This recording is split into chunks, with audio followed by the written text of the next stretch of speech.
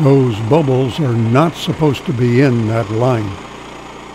The tube provides an adjustable but even flow of water to the sawmill blade. Air being sucked in at the top increases the rate of flow until the tube is empty, and then the flow becomes almost nothing while the next few drops come down the tube. Too much soapy water on the blade can cause it to float off the wheel.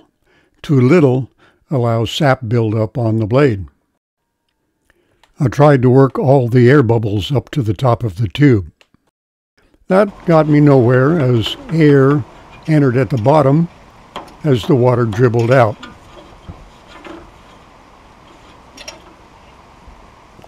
This valve is a simple open or shut valve operated by the throttle handle.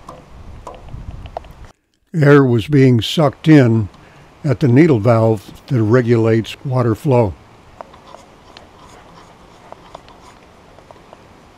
That valve is shut off.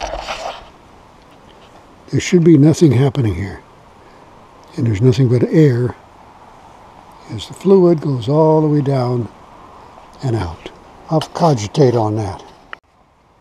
I decided to remove the valve and drain the tank and take the valve apart and see exactly how it worked.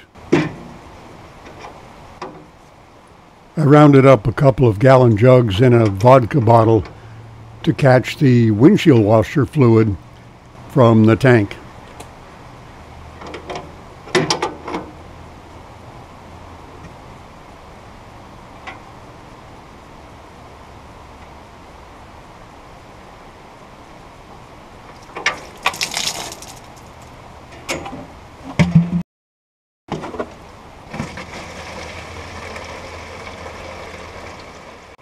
Going to have a problem here when this fills up because the other one is out of reach.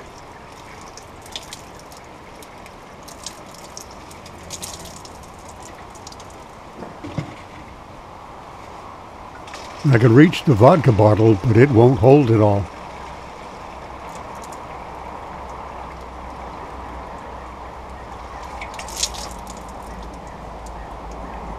boy, I got a gallon left in there which I Okay, there's a thumb.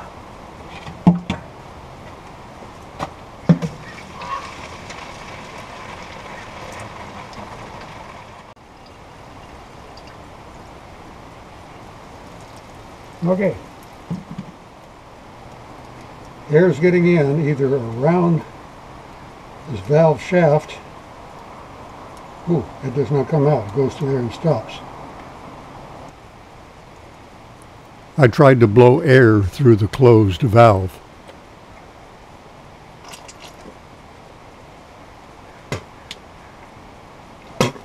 Yuck. Antifreeze.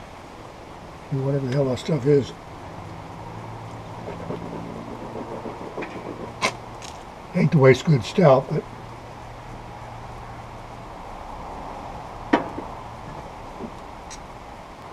So air is coming in either right here or right here. I could use Permatex number two or shoe goo, my go-to goop.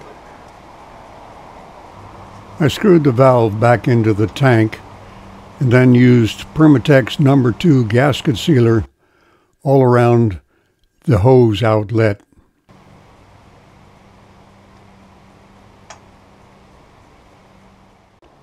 This thing still sucks air. I've got it all sealed up here. Air is getting in somehow here. What happens is, if I have this turned up a bunch, wide open,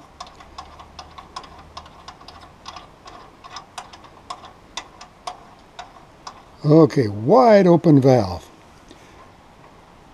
Now we've got water flowing, I mean really flowing. We don't want that. But now look what happens when I turn the valve all the way down. That valve is closed. Now, when we trigger the flow valve down here, They were dripping too. Flow valve down here, there should be no movement. The water shouldn't go anywhere because no water can replace it. But watch this. Air displaces all of the water in the tube all the way down till the tube is empty. So, next trick is to wrap this in Teflon tape and then close it and see if that seals it. No, I don't know what to do.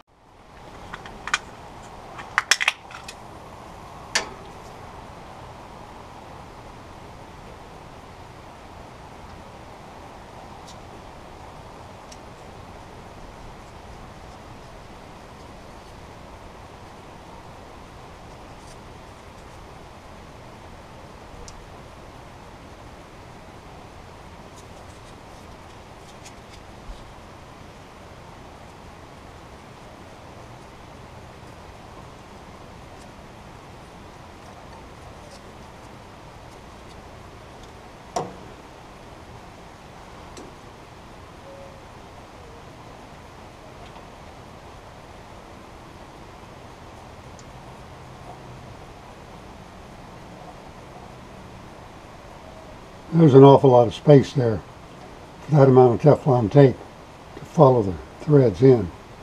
Okay, there's closed. There's open a little.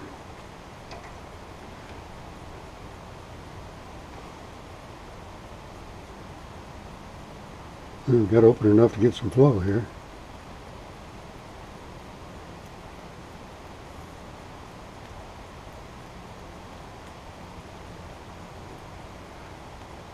Okay, the tube is filling.